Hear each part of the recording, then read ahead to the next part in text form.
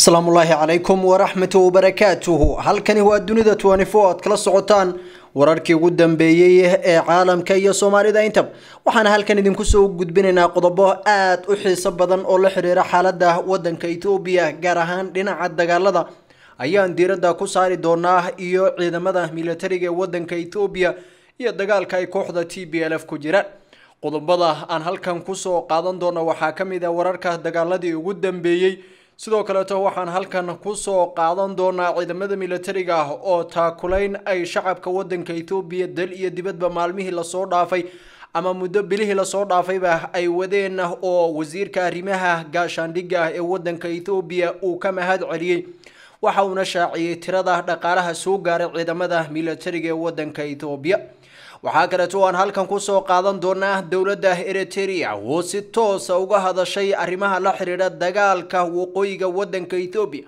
iyo sidoo kaleeto dowladaha maraykanka iyo reer galbeedka faragelin ay sheegeen inay ku hayaan waddamada etoobiya iyo eriteria taasi oo caddeynaysa in eriteria ay dagaalka qeyb weyn ka tahay waqooyiga wadanka etoobiya ka socda qodobadaas iyo kuwo kale ayaan halkan daqadaha soo socda ku faahfaahin doonaa ee saaxiibayaal soo dhawaada muuqaalkiinana muuqaalkana la wadaaga. Asxaabtiina haddii aad ku cusub tahay janalka soo dhawow haddaad nala sii joogtay sharaf iyo karaama korkaaga hata waa kaaga mahad celinaynaa dhinaca facebooka dunida twenty four follow naga soo dhaha isagana waan idin soo dhaweyneynaa saaxiibayaal meel walba aad joogtaan. Ee dhammaantiin soo dhawaada aanu gudagallo dowladda eriteria ayaa waxa ay ka hadashay arrimaha la xiriira faragelin ay sheegeen in dowladaha maraykanka iyo kuwa kale reer galbeedku ay ku hayaan waddamada ethoobiya iyo eriteria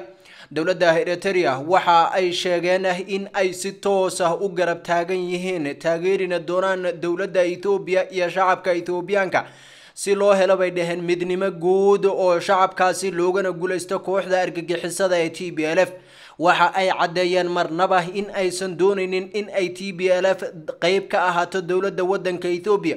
sidoo kaleetana waxa ay ku eedeeyeen inay wiiqayaan awoodda wadanka ethoobiya iyo dadka shacabka oo sheegeen inay dhibaatooyin kala duwan ku hayaan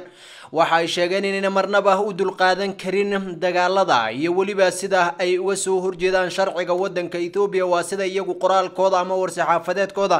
oo warbaahinta eriteria iyo tan gudaha wadanka ethoobiaba lagu baahiyey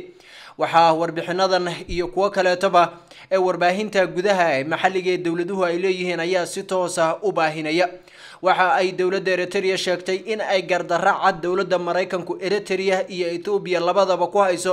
iyaga oo soo qaatay xanibaadii la saaray taliyaha ciidamada militariga ah ee eriteria oo ay sheegeen inay ahayd mid xaqdarra waxaa kaleeto ay soo qaateen faragelinta tooska ah oo ay sheegeen in ay dowladda maraykanku ku hayso wadanka ethoobiya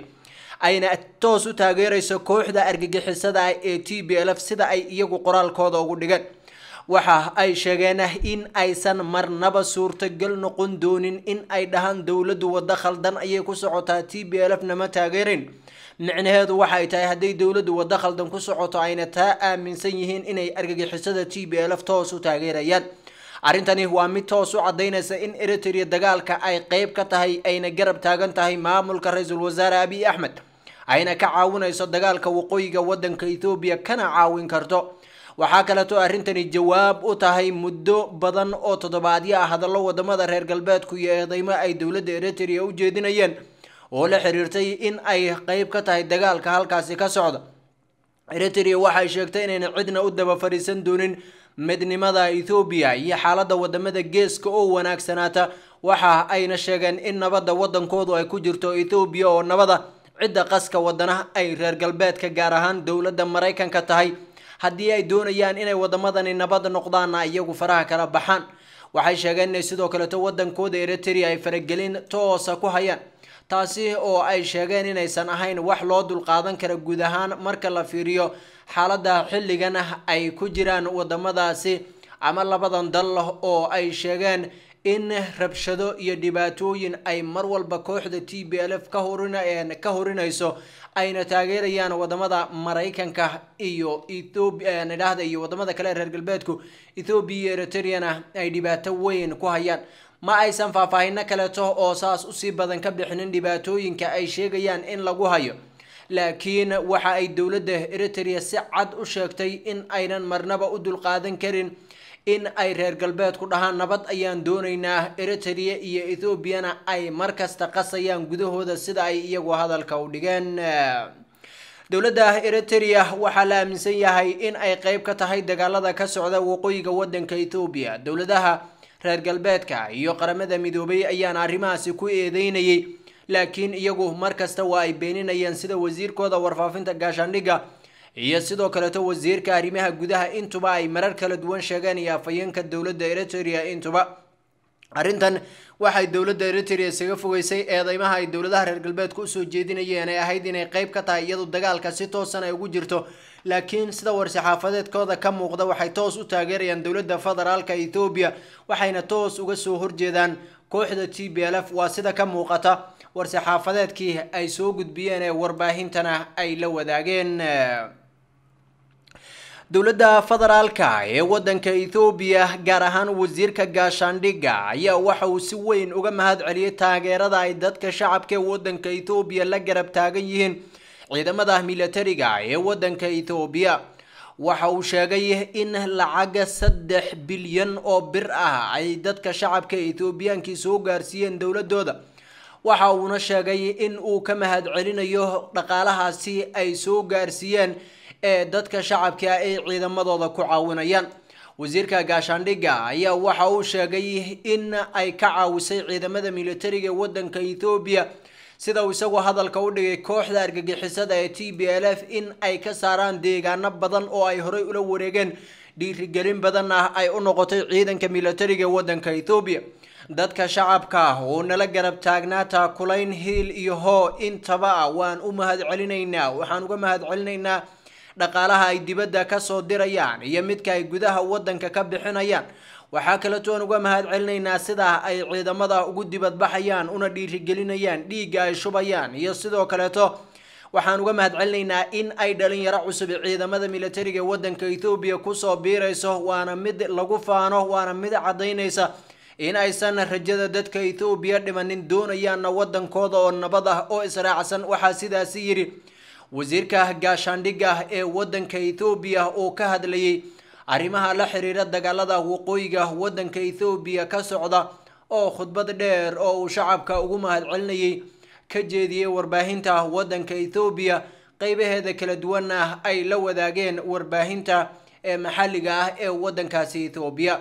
waxaa kaleeto oo uu sheegay wasiirka gaashaandhigga ee wadanka ethoobiya dr kanea deta waxa uu shacabka u sheegay inay sii wadaan dhiirigelinta ay ciidanka u sameynayaan. Iyo garab istaagan waxa uuna ka mahad celiyey cid kasta oo arrimahan ka qayb qaadatay bulshada qeybaheeda kala duwan. Sida uu isagu hadalka u dhigay weli dunida twenty four ayaad nagala socotaan. Wararka kale ee aan idiin haynana waxaa ka mid a ciidamada booliiska ee deegaanka bishaangul ayaa waxay sheegeen in shan iyo siddeetan qof ay qabteen kuwaasi ay sheegeen inay ahaayeen kooxa qaswadayaala oo maalmihii la soo dhaafay dilal ka geysanayay deegaanka bishaangul gomus waxa ayna sheegeen in kooxdaasi iyo hubkii ay wateenba gacanta ay ciidamada ku dhigeen kadib howlgal ballaaran oo la sameeyey. Waxa ay ciidamada booliiska bishaangul gumus sheegeen inayna suurtagal noqon karin in ay dad ku dhex dhuuntaan dhibaateeyaana dadka ayna deegaanada isaga dhex dhuuntaan waxaa sidaasi sheegay mid ka mid a taliyaasha booliiska degmooyinka bishaangul gumus oo ah meesha lagu soo qabtay raggan ay sheegeen in ciidamada ay ka mid aan ay dadka dhibaatooyin kala duwan u geysanayeen. Waxay ku soo aadaysaa tani iyada oo maalmihii la soo dhaafayba halkaasi tacadiyo kala duwan laga soo sheegayo dadka shacabka loo geysanayo ciidamada militariga ee wadanka ethoobiya oo ka hadlay arrimaha la xiriira dagaalada ay maalmihii la soo dhaafay ka gelayeen gobolka gondar. Iyo sidoo kaleeto wolla zone ayaa waxa ay sheegeen in guulo waaweyn oo la taaban karo ay halkaasi ka gaareen. Dowladda federaalka ethoobiya iyo ciidamadeeda militariga ayaa sheegay in maalmihii la soo dhaafay ciidamadu ay guulo kala duwan gaareen kooxda t b l f oo isku daysay inay weeraro ku soo qaado qaar ka mida deegaanada wadanka ethoobiana ay ka guuleysteen oo laga adkaaday dagaalkaasi sidaa ay iyagu hadalka u dhigeen. Waxa ay sheegeen in aysan marnaba suurtogal noqon doonin in dadka shacabka ee waddanka ethoobiya la dhibaateeyo iyaguna ay iska dhowrtaan waxayna sheegeen in howlgalladii ugu dambeeyey ay muujinayaan in kooxda t b l f laga adkaan karo lagana adkaaday muddada dhowna. Ay deegaanada waddanka ethoobiya ay ka xoreyn doonaan.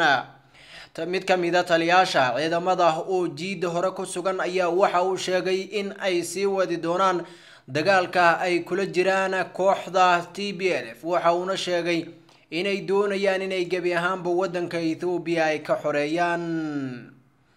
kooxda t b l f ayaa dhankeeda waxay sheegtay in dagaaladii ugu dambeeyey ee dhacay ay guulo waaweyn ka gaareen waxayna sheegeen inay jab weyn gaarsiiyeen ciidamada dowladda federaalka ee ethoobiya sida ay baahisay warbaahintooda maxalliga ah ee ay gaarka u leeyihiin ee tigray media network oo ka hadlaysay arrimahan la xiriira waa arrimaha la xiriira dagaalada iyo weliba kulamadii ugu dambeeyey ee halkaasi ka dhacay waxa iska horimaadyadii ugu dambeeyey ee halkaasi ka dhacay. Waxa ay sheegeen inay guulo ka gaareen dagaalada dhinaca waqooyiga ethoobiya ka socda gaar ahaan deegaanka amxarada. Iyo sidoo kaleeto inay guulo ka gaareen dagaalka ka socda dhinacaas iyo canfarta oo ay sheegeen in ay labadaba dowladda federaalka ethoobiya ku jabiyeen waxa ay soo bandhigeen oo kaleeto ciidamada idhaahda tigraygu buundooyin ay sheegeen in ay maamulka ra'iisul wasaare abi axmed burburiyeen sida iyagu hadalka u dhigeen oo ay sheegeen inay dib u dhis ku sameeyeen ayay soo bandhigeen kuwaasi oo gargaarka bini-aadamtinimada muhiim u ah.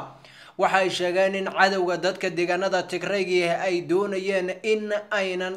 gaarin halkaasi gargaarka degdega ee bini-aadamtinimadu iyagoo taa ka duulayan ay dhibaatooyinkaasi kala duwan shacabka deegaanka tigrayga si loo dhibo ay u sameeyeen in ay buundooyinkaasi burburiyaan. Buundadan oo ay saareen biro xadiida ayay soo bandhigeen iyaguna maanta oo ay ku sheegeen inay dib u dhis ku sameeyeen si dadka shacabka ah ee deegaanadaasi loogu mariyo gargaarka bini-aadamtinimada. Laakiin hay'adaha caalamiga ayaa maalmihii la soo dhaafayba ka cabanayay kooxda t b l f oo sheegayay in ay boob iyo dhac u geysteen. Qaar ka mid ah bakhaarada hay'adda u s aid oo gargaarka caalamiga u qaabilsan waddanka maraykanka. Dhammaan dowladda federaalka ethoobiya waxay ku jirtaa dadaalo kala duwan oo la xiriira arrimaha dagaaladaasi iyo sidii xal waara looga gaari lahaa xaaladda guud ee waddanka ethoobiya oo ay doonayaan in lagu soo afjaro dagaalka iyadoo la filayo bisha soo socota taariikh afar in la dhiso dowlad cusub. Inta ka horeysana ay dowladda federaalka ethoobiya doonayso ciddii ay hadal la geli kartana inay hadal la gasho oo wadaxaajood ay la samaysato sida xisbiyada mucaaradka een dagaalka ku jirin. Ciddii kaleeto ee ay ka takhalusi kartana in ay ka takhalusto waana mida hadda keentay in gulufka colaadeed ee kooxda t b l f lagu hayo uu sii socdo. Laakiin kooxda t b l f ayaa sheegaysa in ay toos isaga caabin doonto. Kooxda eritrea ayay wararka qaarkood sheegayaan inay toos maalmihii la soo dhaafay dagaalka ugu jirtay ayna gobollada qaar oo deegaanada tigrayga ay xad kala leeyihiin ay weeraro waaweyn ka geysteen iyagoo garab siinaya ciidamada militariga waddanka ethoobiya